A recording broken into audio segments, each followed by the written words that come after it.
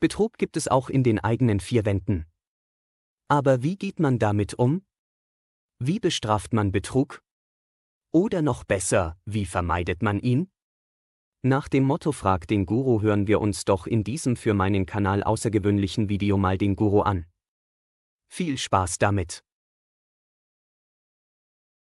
Wenn dich jemand betrügt, ist es falsch, diese Person zu bestrafen oder zu glauben, dass sie eines Tages bestraft werden? Aber er muss bestraft werden.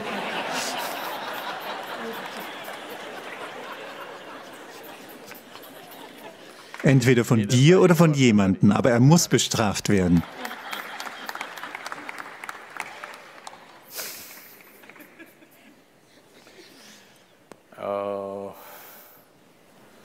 Welche Art Strafe verhängst du normalerweise gegen Menschen? Es ist schon genug Strafe verhängt worden, nicht wahr? Es ist bereits verhängt worden. Die Hässlichkeit, die Ekelhaftigkeit, die schweigende Behandlung, alles ist geschehen. Also, welche weitere Strafe willst du noch verhängen? Deine Sache ist, es gibt keine Reue auf der anderen Seite. Es gibt keine Reue auf der anderen Seite, weil die Menschen tun, was sie wollen. Nicht, was du willst, dass sie tun. Immer. Und das ist vielleicht nicht in deinem Interesse. Aber sie tun, was sie tun wollen. Ist es richtig, falsch? Ich gehe nicht auf die Moral davon ein. Ich möchte, dass du die Mechanismen der Situation verstehst. Jemand tut, was sie tun wollen. Nun denkst du, sie müssen bestraft werden. Wahrscheinlich haben sie kein Gesetz gebrochen, andernfalls würden sie sowieso bestraft. Sie brechen eine Vereinbarung zwischen zwei Menschen. Wahrscheinlich hast du die Vereinbarung falsch verstanden. Du hast geglaubt, dass diese Vereinbarungen absolut sind. Sie sind es nicht. Nirgends in der Geschichte der Menschheit oder heute oder irgendwann in der Zukunft werden menschliche Beziehungen absolut sein, obwohl jeder, jede Person, die ein wenig romantisch wird, glaubt, dass dies eine absolute Beziehung sein wird. So etwas gibt es nicht. Eine Beziehung ist eine Variable, immer. Du musst sie Tag für Tag führen. Eines Tages, wenn du sie nicht richtig führst, kann sie irgendwo hingehen. Ja oder nein? Nein, bitte, schau es dir an, wie es ist. Du musst sie richtig führen. Also nein, ich tue mein Bestes. Offensichtlich glaubt jemand, dein Bestes ist nicht gut genug für sie. Ich möchte, dass du damit klarkommst. Es geht nicht um, ich sage nicht, was sie tun ist richtig oder falsch, das steht mir nicht zu. Alles, was ich sage, ist, so funktionieren die Menschen seit Ewigkeiten und immer noch. Ich sage, zuallererst musst du verstehen, Beziehungen werden nie und nimmer absolut sein. Sie werden Variablen sein, die du, es ist Jonglieren, das du tun musst. Wenn du mit fünf Bällen jonglierst, einer wird manchmal, er wird herausfallen. Er fordert viel Geschick und Aufmerksamkeit. Ja oder nein? Ihr seid verheiratet, viele von euch. Erfordert es nicht viel Geschick und Aufmerksamkeit? Wenn du nicht aufmerksam bist, weißt du nicht, was zur Hölle passiert. Es braucht viel Aufmerksamkeit, nicht wahr? Jemand hat mich gerade angerufen aus irgendeinem Land in Europa und Sadhguru, ich mache nur Hausarbeit, komm und rette mich. Bring mich weg zu deinem Ashram. Ich mache nur Hausarbeit. Sie spült Geschirr und so. Gut, sehr wohlhabend, hat aber vier Kinder. Also gibt es die ganze Zeit etwas zu tun, ohne Ende. Und heute tauchte die Haushaltshilfe nicht auf, also musst du das Geschirr spülen. Vier Kinder sind da und du musst das Geschirr spülen, du musst alles abwaschen.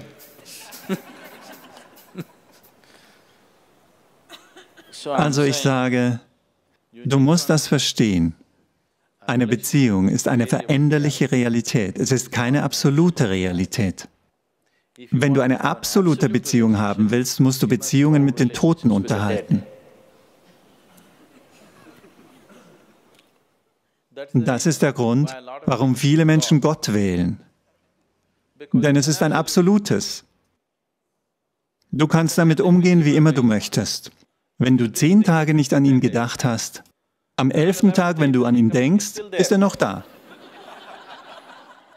Du tust das mit dem Mann oder deiner Frau oder irgendjemanden, dann wird etwas anderes passieren. Du bist weggegangen, warst beschäftigt, hast Gott drei Jahre lang vergessen. Wieder kannst du an ihn denken. Noch da. Wenn du also eine absolute Beziehung haben willst, musst du, solltest du keine Menschen wählen. Menschliche Beziehungen sind variable, brauchen viel Aufmerksamkeit. Deshalb entscheiden manche Menschen in ihrem Leben, sie haben nicht die Zeit und die Energie, um solche Dinge zu handhaben, also gehen sie einen anderen Weg, wo es keine solche Verpflichtung gibt. Sie schließen ihre Augen, sie sind bei sich. Ihnen ist es egal, wer um sie herum ist, was um sie herum ist. Also du kannst das nicht tun. Also ich denke, es ist am besten, wenn du versuchst, jemanden zu bestrafen, wirst du am Ende nur dich selbst bestrafen. Sie tun, was sie tun wollen. Am besten ist es, wenn du erkennst, was es ist, was du wirklich in deinem Leben willst. Du musst nicht auf sie reagieren und etwas Dummes tun wie sie. Du musst dich nur hinsetzen und es betrachten. Wenn deine Illusionen zerstört sind, bist du gerade desillusioniert. Das ist eine sehr gute Sache. Wenn deine Illusionen zerstört sind, bedeutet dies, das Leben bringt dich näher an die Realität, nicht wahr? Also das ist eine Gelegenheit für dich, dich hinzusetzen und herauszufinden, was ist die Natur meines Lebens? Warum ist es? Schau, dieses Stück Leben ist ein vollständiges Stück Leben. Ist es nicht so? Ist es ein halbes Leben? Bist du ein halbes oder ein ganzes Leben? Ganzes Leben. Warum ist es?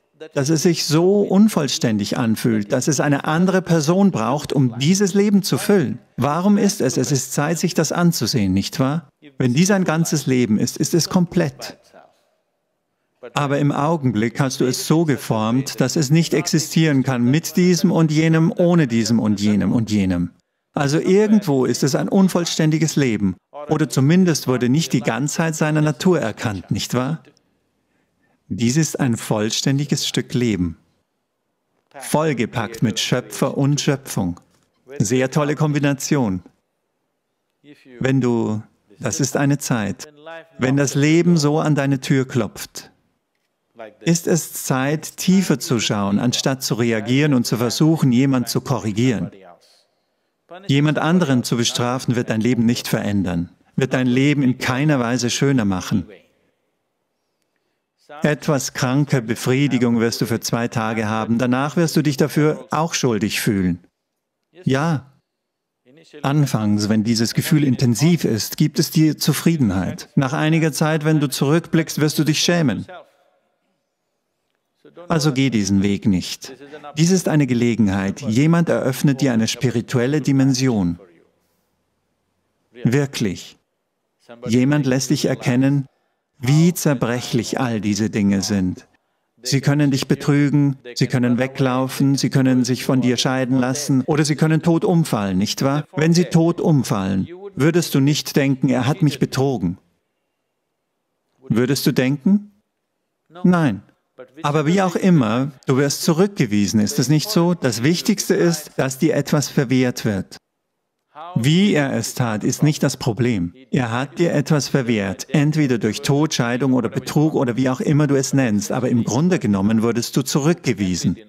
Du kannst nur deshalb zurückgewiesen werden, weil du in einem bestimmten illusorischen Zustand bist zu glauben, dass dies ein halbes Leben ist und es eine andere Hälfte von irgendwoher braucht. Nein, das ist ein vollständiges Leben. Wenn du als vollkommenes Leben erblüht bist, wirst du sehen, dass deine Beziehungen von ganz anderer Natur sein werden. Es wird mehr ein Zusammenkommen und Teilen sein, nicht ein Auspressen. Es muss sich umwandeln. Wenn es sich verwandeln soll, musst du dich verwandeln. Dies ist eine großartige Gelegenheit, die dir jemand gegeben hat. Hör auf, diese Worte zu benutzen, jemand hat mich betrogen. Sag einfach, jemand schiebt dich in Richtung ultimative Wirklichkeit von einem illusionären Zustand. Wir müssen dieser Person danken. Du musst dankbar sein. Anstatt dich in, anstatt dich in der Illusion zu lassen, anstatt dich darin dein ganzes Leben lang zu lassen, machen sie dir das sehr bald klar. Andernfalls wirst du es zum Zeitpunkt deines Todes wissen. Ja. Du wirst es zum Zeitpunkt deines Todes wissen. Wenn du stirbst, ich habe Angst, warum kommst du nicht mit mir? Er wird sagen, nein.